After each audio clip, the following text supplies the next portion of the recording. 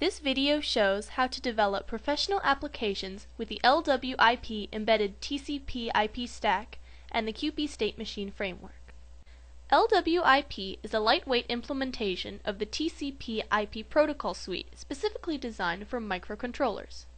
QP is a lightweight, open source state machine framework, which is like a real-time operating system, RTOS, for executing event-driven state machines. The LWIP QP integration has been carefully designed for hard real-time control type applications in which the TCP IP stack is used to monitor and configure the embedded device as well as to provide remote user interface, for example by means of a web browser. The QP framework strictly encapsulates the non-reentrant LWIP stack. No external RTOS is needed to achieve fully deterministic real-time response of state machine tasks prioritized above the LWIP task.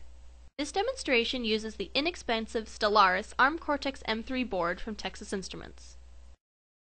The board is powered up from the host computer via a USB cable, which is also used for downloading and debugging the embedded code.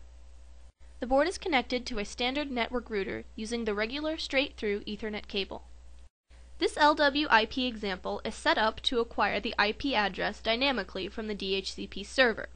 Therefore, I log on to the network router to make sure that the DHCP server is enabled. The example code can be compiled with various tools. Here I use the Sourcery G++ toolset based on Eclipse and the GNU compiler. The example code contains the Eclipse Makefile-based project. The native event-driven API of LWIP perfectly matches the event-driven run-to-completion execution model underlying QP. In other words, QP works with the standard LWIP code, as distributed from the LWIP homepage. After building and downloading the code, the board starts executing the example. The first line in the display initially shows the IP address of all zeros, but after a few seconds it shows the IP address acquired from the DHCP server. The second line in the display shows the changing status of the classic Dining Philosophers problem, which is used to simulate a real-time application running in parallel to the TCP IP stack. The application has a screensaver to protect the OLED display from a burn-in. I check the IP address in the router. The embedded board is identified by the hostname LWIP. I copy the IP address and paste it to the address bar of my browser. At this point, the web browser downloads the web page from the HTTP server running inside the ARM board. The web page is stored in the flash memory of the MCU and contains several images, links, tables, and a style sheet. A quick check if the board is still running. Please note how quickly this non-trivial web page reloads when I press the refresh button on the browser. The HTTP server has been extended to support rudimentary server-side include SSI facility. The following table contains 11 SSI tags embedded in the HTML of this web page. Client browsers never see these tags, as the HTTP server replaces them on the fly while serving this page. These particular SSI tags cause the target to generate various LWIP link statistics. The SSI web page loads slower than the others because each SSI tag is sent in a separate TCP IP packet. The HTTP server supports rudimentary Common Gateway Interface CGI facility. CGI allows you to use standard HTML forms in your web pages to send data to the HTML server inside the embedded system. This simple form demonstrates sending text to be displayed on the board via the CGI facility running inside the embedded HTTP server. You type text and press the Submit button. The CGI request triggers execution of a CGI callback function inside the target, which, is, which in this case shows the text on the display. Of course, your own code can do anything you like.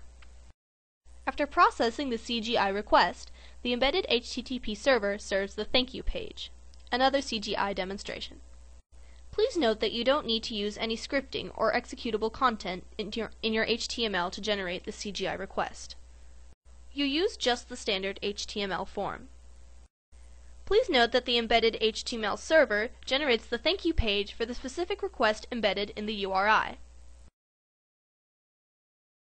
The LWIP QP example also demonstrates UDP communication to and from the embedded target. To facilitate testing of UDP connectivity, A simple console application called QUDP for Windows or Linux hosts is provided in the example code. QUDP is invoked with the IP address of the target system and optionally the port number. The embedded target opens up a UDP connection and binds it to the default port 777. Every UDP packet sent to this connection is interpreted as text to be displayed on the screen of the target board. The target board then adds a sequence number to the original text and sends it back to the same remote IP address and port number that has sent the original packet.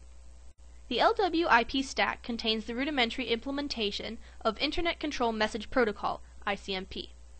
The main use of ICMP is to respond to the ping command.